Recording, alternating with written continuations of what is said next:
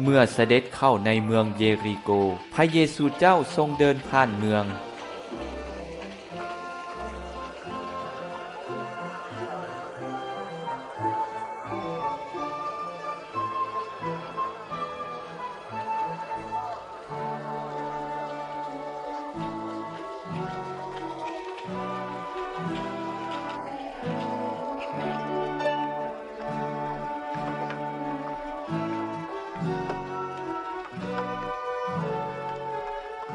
อดีมีบุรุษผู้หนึ่งชื่อสาเกล เป็นหัวหน้าพวกเก็บสวย และเป็นคนหั่งมีสาเกลซอกหายอยากเห็นว่าพระเยซูเจ้าแม่นผู้ใดแต่บ่สามารถเห็นพระองค์ได้ย้อนฝูงชนหลาย และลาวเองก็เป็นคนเตี้ย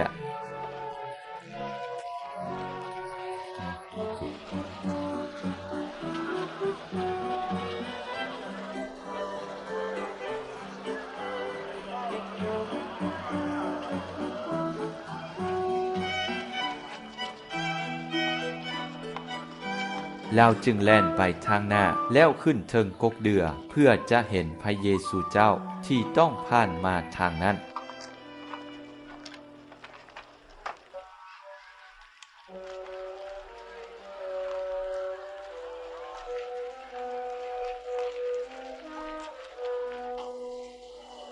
พอพระเยซูเจ้ามาถึงบ่อนนั้น ทรงเงยพระพักขึ้นทอดพระเนตรเห็นลาว จึงกล่าวว่าซาเกลเอย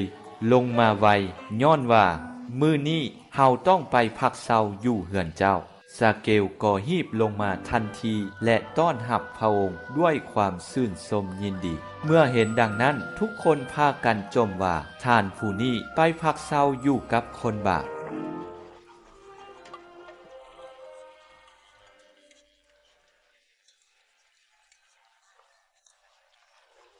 ส่วนซาเกลเอง ทูลพระองค์เจ้าอย่างจริงใจว่า โอ้พระองค์เจ้า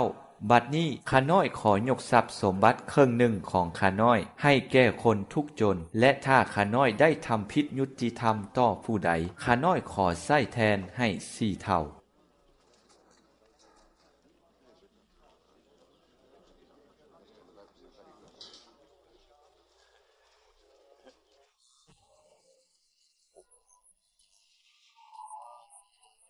พ ระเยซูเจ้ากล่าวว่า มื้อนี้เฮือนหลังนี้ได้หับความฮอดแล้ว ย้อนว่า ผู้นี้ก็แม่นบุตรของอาบราฮัมคือกัน ด้วยว่าบุตรแห่งมนุษย์ลงมา เพื่อซอกหาและช่วยผู้ที่เสียไปให้เอาตัวฮอด